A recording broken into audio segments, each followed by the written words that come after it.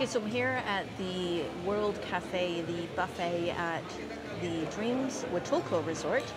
And uh, it's nice and air conditioned in here. Um, outside, it's like 32 degrees pretty much every day. In Fahrenheit, I think that's around 90. Um, it's not humid, but it's just kind of ongoing nonstop heat. So it's nice to be inside where it's a little bit cooler and actually develop a bit of an appetite. So uh, let's go and check out the buffet. I'm going to show you what they have. So this is a no-touch buffet, which means to say that there's servers everywhere and they will plate your food for you, which is kind of nice. Really good selection of salads, capers, um, different kinds of salads here. And uh, over here, oh yeah, and then the crostinis.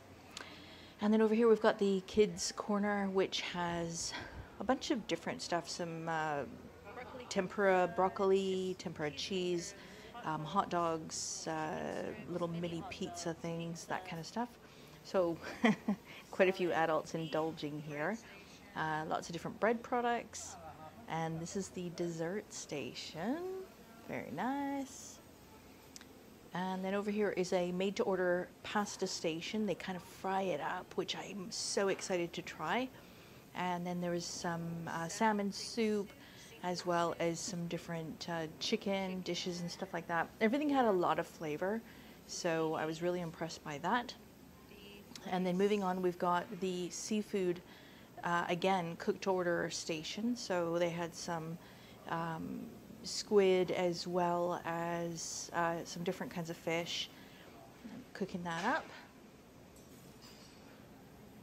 And this is the various sauces they had some pretty spicy.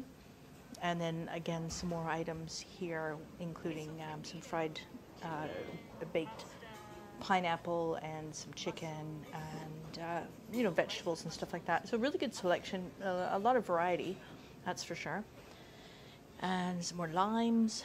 And then this was another section with, uh, they had some um, french fries and cheesy pasta. And then of course we have the family favorite stuff. We have hot dogs and hamburgers and all the accompaniments there.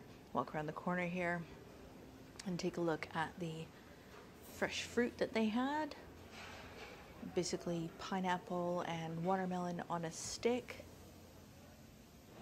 So hope you enjoyed that tour of the lunch buffet at Dreams Huatulco. If you enjoyed this video, please consider giving it a thumbs up. And don't forget to subscribe so you don't miss out on future videos. And we'll see you on the next one.